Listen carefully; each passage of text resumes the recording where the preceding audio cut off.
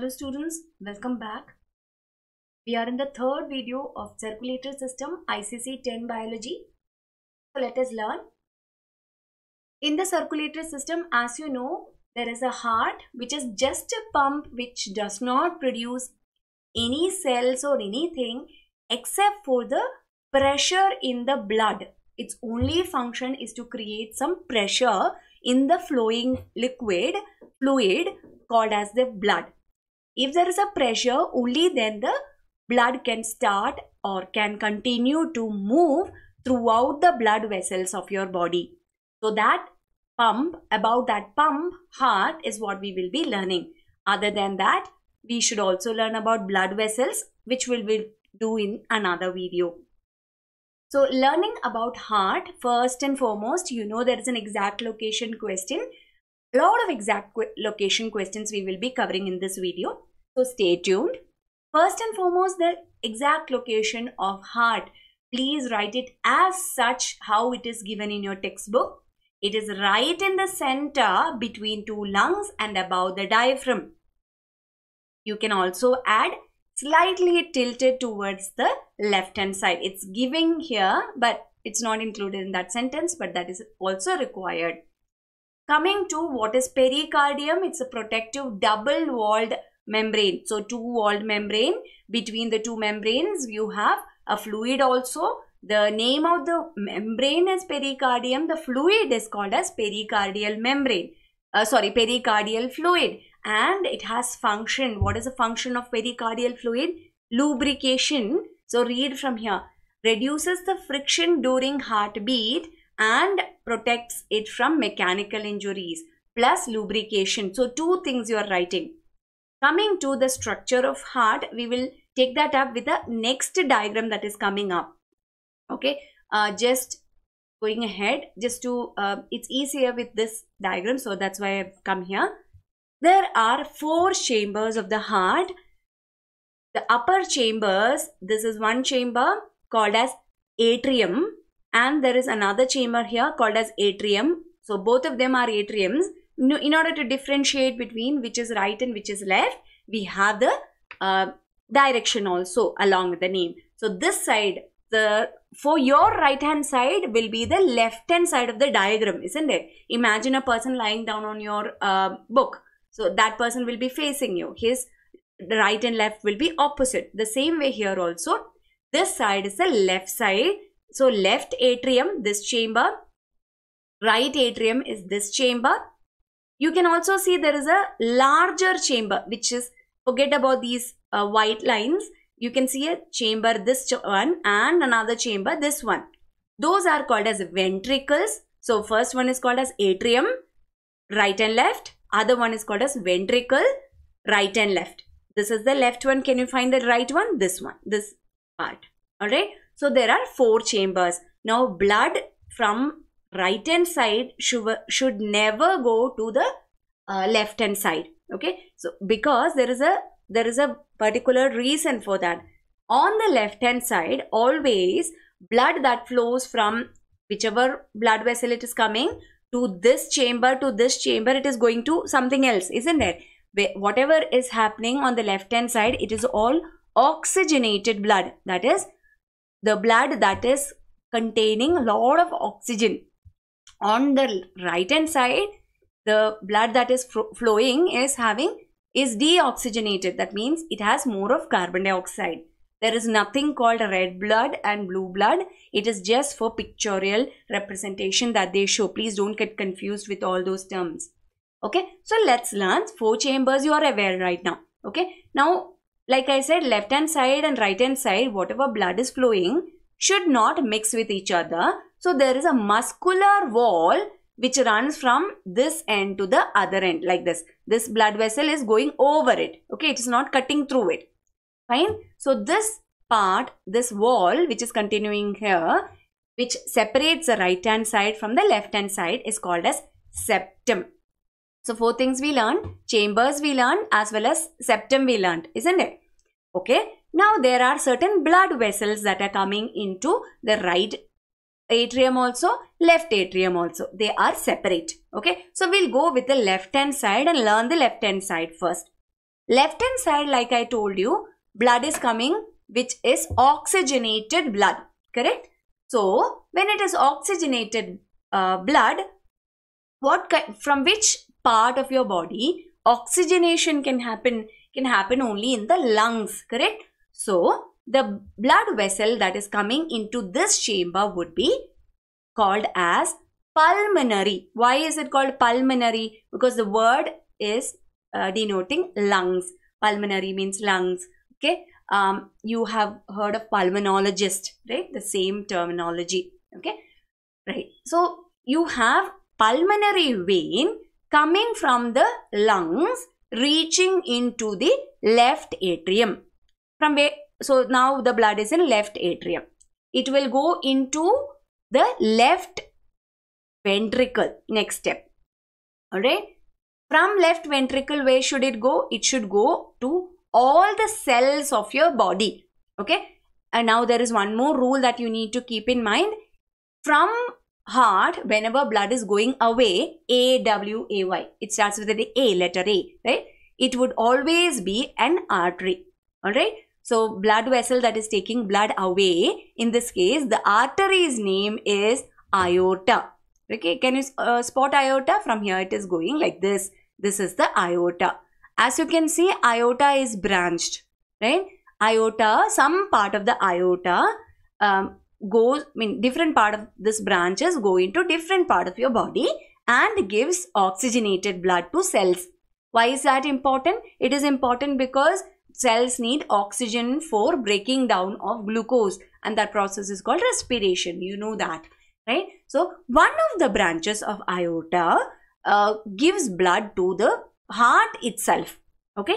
And that is called as coronary artery, right? So till now, if you have a confusions, go back and rewind and see it. Let me not repeat again. Okay, fine. Now go to the right hand side.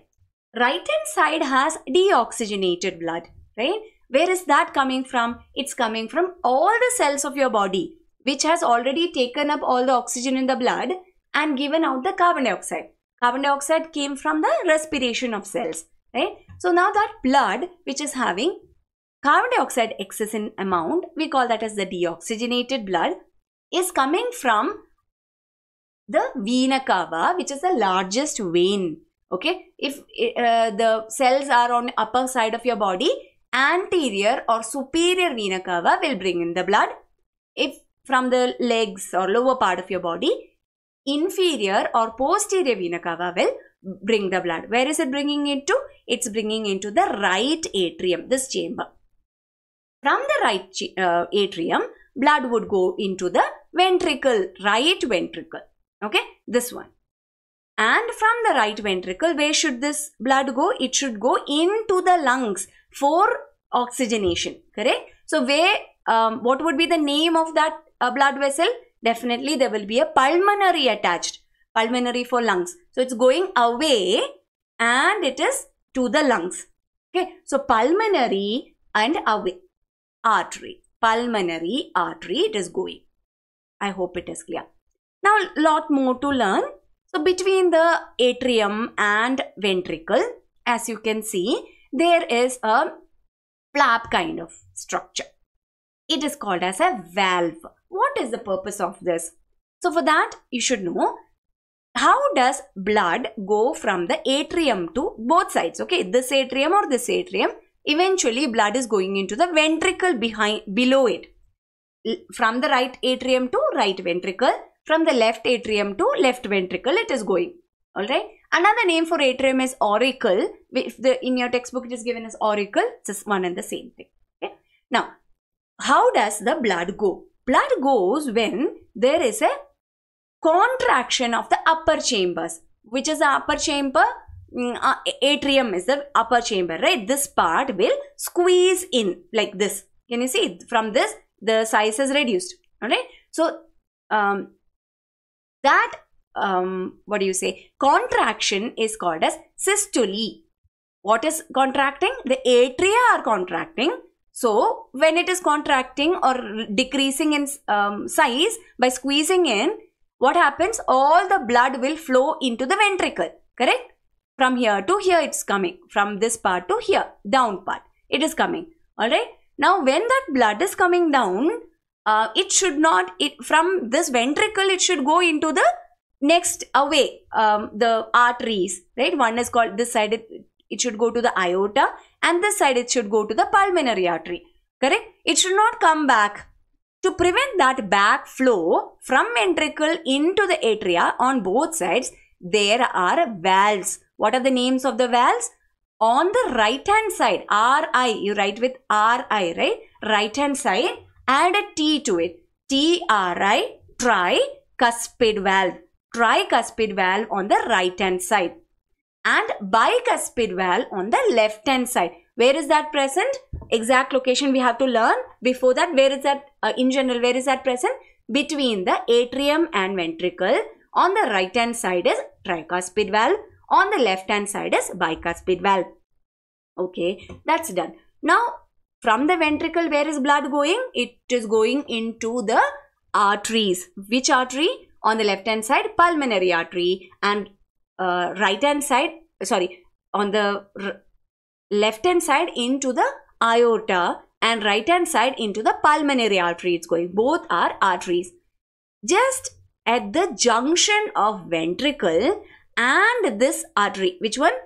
Either pulmonary artery or aortic uh, blood vessel aorta. There is a valve again those valves are called as semilunar valves. Like I'm telling you again, exact location of all this we need to learn. Give me a minute. Let me complete explain this and then we'll go there. Okay.